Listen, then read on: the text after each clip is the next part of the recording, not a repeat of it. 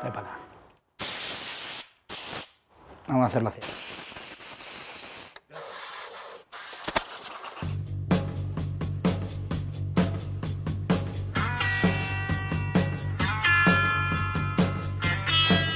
Tras la exhaustiva limpieza de filtros y radiador de su tractor, Javi se embarca hoy en su particular Ruta 66, que le llevará al campo que tiene que labrar.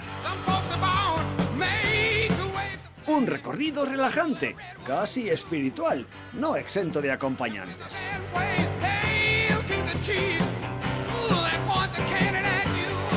Aquí no se para, llegar y labrar.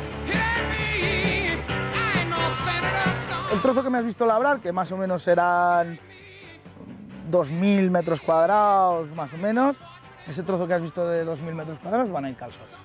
Y más o menos el año pasado, como puse me parece que 600 y este año he puesto un poquito más porque se vendieron muy bien los calzos, pues he calculado, el año pasado ahí eran dos líneas, pues ahora que me he venido un poco más aquí, he hecho como para seis líneas. Que me sobran, pues dejo el caballo hecho y ya pondré otra cosa. Pero vemos trozos sin labrar, y eso tiene un porqué. Ahora había mucho polvo, está, el verano ha sido muy malo. Eh, en este, este año en este campo en verano no he puesto nada, lo he dejado que, que fluya el solo.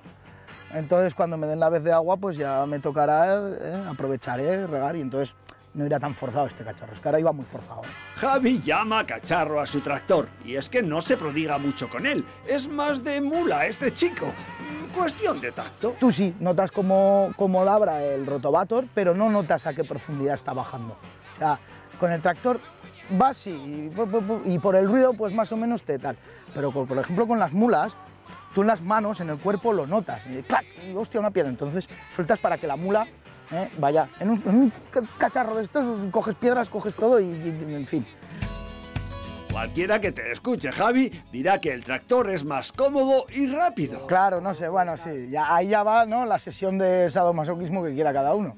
A mí me va la marcha, o sea que a mí no me gusta, no, no, no. Yo siempre lo he dicho, yo los tractores, yo por mí, vamos. A ver, es verdad que te hacen una buena labor y te hacen mucha faena, pero a mí no me gustan. Entonces, al que le gusten los tractores, pues que yo, yo lo contrato y ya está, hay que darle. Pero lo importante para Javi es conseguir aquí todos los cultivos de invierno, no solo calzots. Una planificación ordenada, aunque siempre con un plan B o C. Todo invierno haremos el mix este que nos encanta, coliflor, brócolis, ¿eh? Eh, iremos poniendo atandicas. Lo último que, que, sembraremos serán las habas o sembraremos, o sembraremos alguna, alguna cosa, pues algún prado suizo, alguna cosa así para...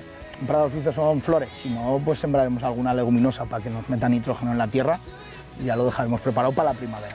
Y luego, bueno, siguen los invernaderos, pero eso es otro mundo. Sí que noviembre nos permite poner alguna cosita más en lo que es Zaragoza, cuidado. Siempre yo hablo de, de mi tierra, donde cultivo, pero vamos, espero llenar el campo, ¿eh? Y nosotros verlo lleno. El camino no ha hecho más que empezar.